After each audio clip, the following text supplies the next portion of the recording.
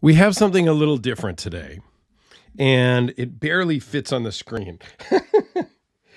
so, and this is my first time actually handling like a full size Ka-Bar knife.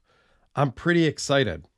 My buddy Noah dropped this off, and this is something that he had custom made. So, this is a custom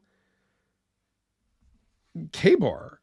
This is an original sheath from, you know, um, USMC uh, issued Ka-Bar, which is in great shape.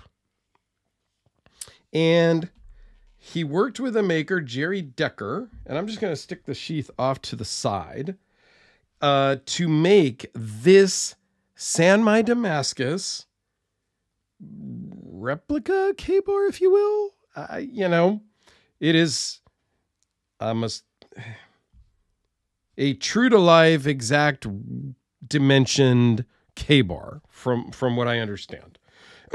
it fits perfectly in the sheath, so I'm sure it's roughly the same. And we'll go through some of the dimensions here in just a minute.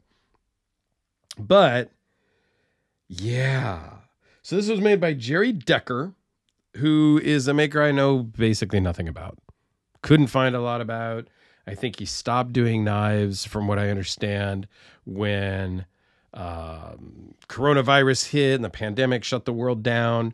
He stopped making knives and, you know, maybe went back to his day job. I, I don't know. I don't know much about him. If you do know much about him, or if you know anything, let me know.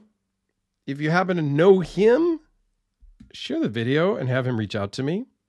So this is stainless steel over 80 CRV2. I think it looks amazing. I like the fuller and the fact that you can see the other steels in the fuller. It has a nice guard. Show you the other side of the blade here. I mean, it's nice. And a nice true to form kind of stacked leather handle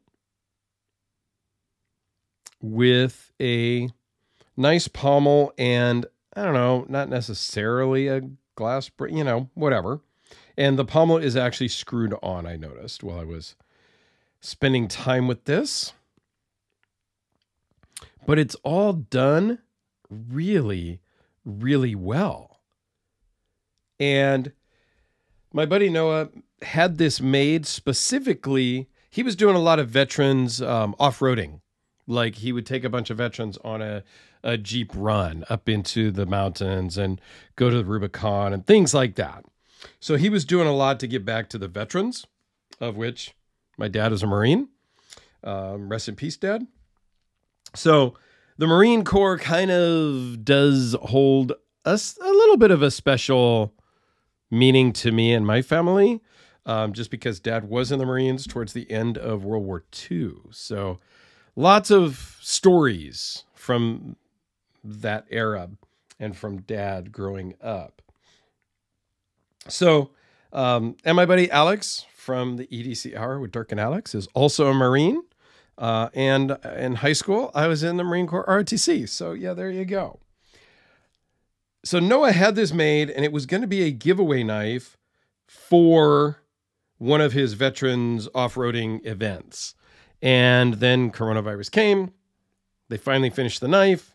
The pandemic hit. They shut down all of that stuff. And so Noah didn't do a run and hasn't given this away yet. So he is looking to do another event and give this away to a veteran. But I think it's fantastic. Like, it feels great in the hand and it's something because it's 80 CRV2, you could use this. Like this could be like your truck knife or something. I I think it's really cool. So it's 12 and a quarter inches overall with a six and three quarter inch blade with a six and a half inch cutting edge. Behind the edge is really thick, but again, this is more of your outdoor working knife. Behind the edge is 0.05. The blade thickness is 0.264.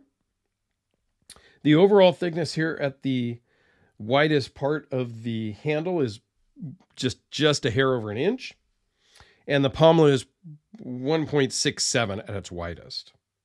It does weigh in at 14.8 ounces by itself, or one pound, 2.7 ounces as a unit. I think it's really cool. It shows that somebody took some time to pay homage to our veterans, of which I do not think, as a general population, we do enough of. I also don't know that as a veteran, every conversation you have with somebody, you need to start off with, Hi, my name is Dirk and I'm a veteran. Uh, Dirk doesn't say that, but I've been around some people that they want you to know that they were a vet within the first five minutes of you meeting them. I don't know if that's such a necessity either, but I don't know. What do you guys think? I think this is incredible. I think it's really cool. And uh, I'm excited that Noah dropped us off at the house. So it gives me a chance to probably try to hook up with him when I give it back to him.